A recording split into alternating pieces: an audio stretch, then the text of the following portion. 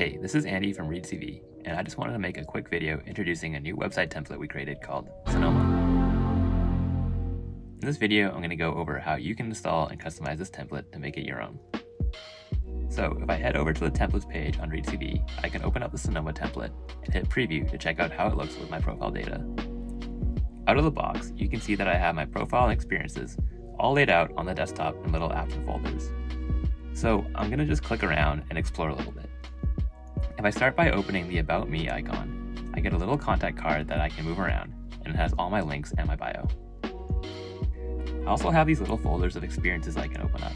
So for instance, if I open my side projects folder, I get a little chronological list of my projects. Of course, I can also open up any of these projects to check out the details and images in a little notes app. I can even double click on an image to open it up in a new window and see it bigger. This template also supports my status updates, which appears as a little emoji on my desktop and can be opened in a little sticky note. Lastly, one fun thing we added was the ability to upload a song and album art, which appears under the Listen app and opens in a custom music player. So this all looks great, but if you want to use this for yourself, you'll probably want to do some customization, like swap out the wallpaper image or change the song to one that you like.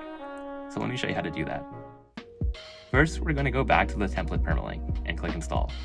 This will create a copy of the site that I can edit in my dashboard. When I click on the site, it will open in SitesOS where I can make my edits. The first thing I want to do is change the wallpaper, so I'm going to open the Media Manager and find backdrop.jpg. From here, I can just click the three dot menu on the right and choose Replace to upload my own image. When I refresh the page, I'll see the new image as the background. Now that I have a lighter colored backdrop, I might want a lighter toolbar to match it. To switch the theme, open the Editor app and find the Site Settings component. From here, you'll see a setting called Toolbar Color and you can change the value to light. Now just hit Command S to save and you'll see the new toolbar color. The last bit of customization you might want to do is upload a different song and album artwork to the player. To do this, we'll go back to the Media Manager and find soundtrack.mp3. Again, we'll hit the three dot menu and replace this file with our new track. For the album artwork, we'll find soundtrackcover.jpg and replace that with our new artwork. Now, when I refresh the project, I'll see that the Listen app has been updated with our new song and artwork. Cool. Before we publish our changes, we'll want to open site settings and make sure we personalize our thumbnail, title, and description. Once that's done, we can publish our changes in the top right corner of the screen.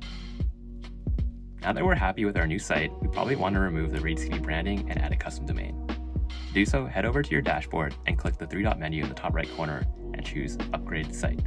You can choose between monthly and yearly billing, and if you're a ReadCV supporter, you'll get the first site for free. Once you've completed your upgrade, you'll see the option to add a domain in the three dot menu. We can now also open the site settings to turn off the ReadCV branding and add any additional meta tags to the site. Once you're done, just save and publish the site.